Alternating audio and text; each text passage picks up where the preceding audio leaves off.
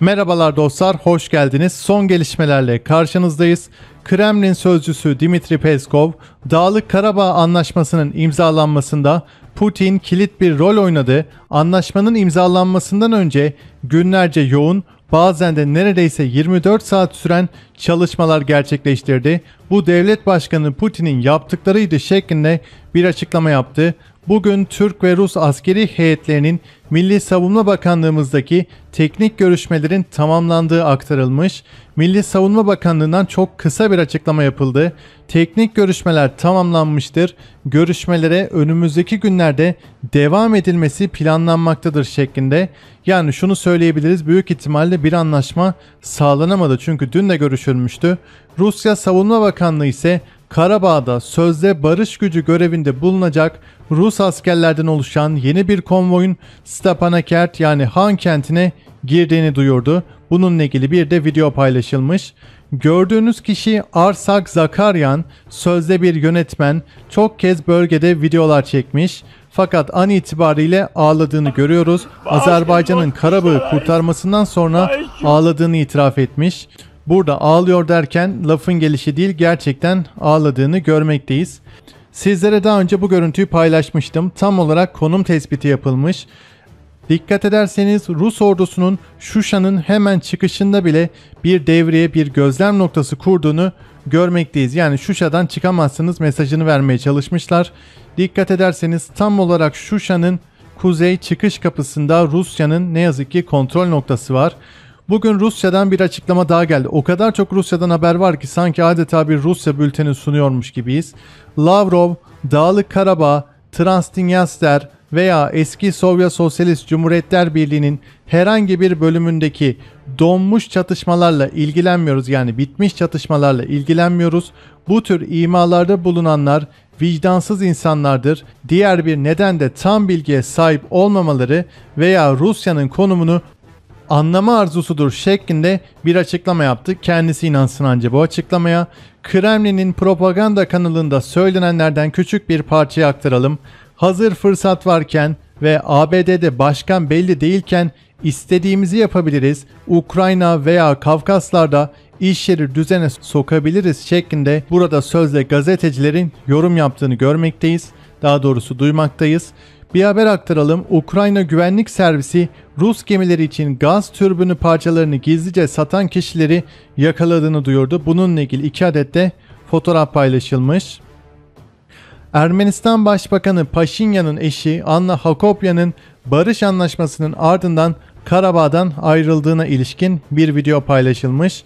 Laçin bölgesinde konuşlandırılan Ruslara ait Gradları görmektesiniz. Coğrafi konumu tespit edilmiş. Uzmanlar tam olarak Şuşa bölgesini hedef alıyor şeklinde de bir yorumda bulunmuş. Sizlere operasyonun ilk haftalarında Azerbaycan tarafından yok edilen Ermenistan ekipmanlarını göstermiştik.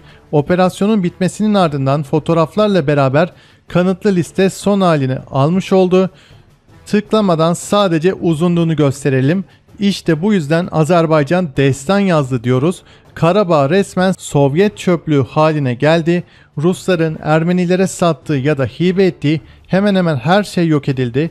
Burada Azerbaycan'ın kaybettiği envanter sayısının ise çok az olduğunu görmekteyiz. İlginç bir biçimde Güney Afrika'dan bazı araçları da görmekteyiz. Azerbaycan ordusunun kullandığı. Anadolu Ajansı'na gidiyoruz. Bugün bir haber paylaşıldı. Muhtemelen 2-3 gün önceki haberi şimdi paylaşıyorlar. Güvenlik nedeniyle çünkü haritadan tam olarak konum bile paylaşılmış.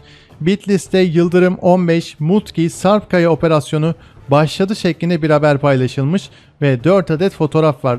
İşin ilginci Anadolu Ajansı'nın harita paylaşması olmuş. Hindistan'a gidiyoruz. Hindistan basını Pakistan'ın Bayraktar TB2 alacağını iddia ediyor. Bununla ilgili Pakistan savunma sitesine de bir haber paylaşılmış. Türk firması Bayraktar tarafından üretilen TB2 drone artık son teknoloji uydu haberleşme SATCOM sistemiyle donatılmıştır. Bu bir TB2 insansız hava aracının Pakistan'daki tüm hava üslerinden uçarken tüm Pakistan, Afganistan, Pakistan, İran ve Pakistan, Hindistan sınırında ve tüm sahil şeridinde devreye gezebileceği anlamına geliyor şeklinde bir haber paylaşılmış. Dikkat ederseniz haberi paylaşırken Çin'i araya katmamışlar. Yani Pakistan Çin sınırından bahsetmemişler. Bu da ilginç olmuş. Bilindiği gibi Pakistan'la Çin'in arası çok iyi. Macaristan Büyükelçisi Miktor Matis'ten açıklamalar geldi. Macaristan Türk dünyasını çok önemsiyor. Macaristan zaten Türk dünyasının bir üyesidir şeklinde açıklama yaptı. Bu açıklamaları dün yaptığını da belirtelim. Hollanda'ya gidiyoruz. Hollanda'da Eğitim Bakanlığı kitaplara Türkiye'yi parçalanmış gösteren harita yerleştirdi. Harita Denk Partisi'nin Türk milletvekili Tunağan Kuzu'nun tepkisi üzerine düzeltildi şeklinde bir haber paylaşılmış. Amerika Birleşik Devletleri Hava Kuvvetleri'ne ait iki tip keşif istihbarat uçağı an itibariyle Karadeniz'de uçuş gerçekleştiriyor. Bugün Aselsan'ın 45. yaş günü kutlanıyor. Aselsan'ın ürün ihraç ettiği ülke sayısının 70'e yükseldiğini söyleyebiliriz. Kıbrıs Barış Harekatı'nın ardından ABD ambargosunun ardından kurulmuştur. Bugün savunma sanayi uzmanı Yusuf Akbaba'dan paylaşım geldi. TUSAŞ'ın helikopter alanında gerçekleştirdiği bir gelişme beni ziyadesiyle şaşırttı. TUSAŞ lanse edecek ben yazamıyorum. Ufak bir ipucu vereyim. T-629 ile ilgili şeklinde bir paylaşım yapmış. Bir gemi görmektesiniz. İngiliz donanması için yeni tasarlanan insani ve afet yardım amaçlı gemi virüs sonrası bu tip gemiler büyük önem kazandı ve talebin arttığı belirtilmiş. Pakistan'a geri dönüyoruz. Pakistan Hindistan arasındaki olaylar devam ediyor. Son rakamları ekranda görmektesiniz. Bugün Başbakan İmran Han'da bir ziyaret gerçekleştirdi. Belucistan vilayetindeki Turbat ziyareti sırasında geleneksel Beluşi türbanını taktı. Başbakan İmran Han'dan burada açıklamalar geldi. Maşallah Pakistan, virüse rağmen alt kıtadaki herhangi bir ülkeden daha hızlı ekonomik iyileşme yolunda ilerliyoruz. Büyük ölçekli imalat Eylül ayında etkileyici bir şekilde %7.7 oranında büyüdü. Endüstriyel enerji paketimiz kapasite eklemeye ve üretimi arttırmaya yardımcı olacak şeklinde bir açıklama yaptı. Libya'ya gidiyoruz. Milli Savunma Bakanımız Hulusi Akar, Libya Savunma Bakanı Albay Selahattin Nemruş ile bir araya geldi. İstanbul'da gerçekleşen görüşmede Libya'daki son duruma ilişkin görüş alışverişinde bulunuldu. Ayrıca bir diğer haberde ise Libya'da bilindiği gibi İtalyan balıkçılar Hafter tarafından tutuklanmıştı. Aylar geçti hala Hafter tarafından geri adım atılmadığını görmekteyiz. Bununla ilgili Forza İtalya Partisi Başkan Yardımcısı Antonio Tajani'den açıklamalar geldi. 18 İtalyan balıkçının Libya'da 2 aydan fazla bir süredir tutulduğunu söyledi.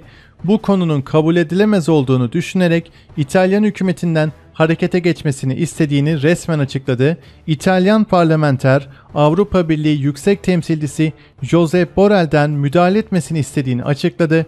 Ancak Avrupa Birliği Yüksek Temsilcisi oralı olmadı şeklinde bir açıklama yapmış.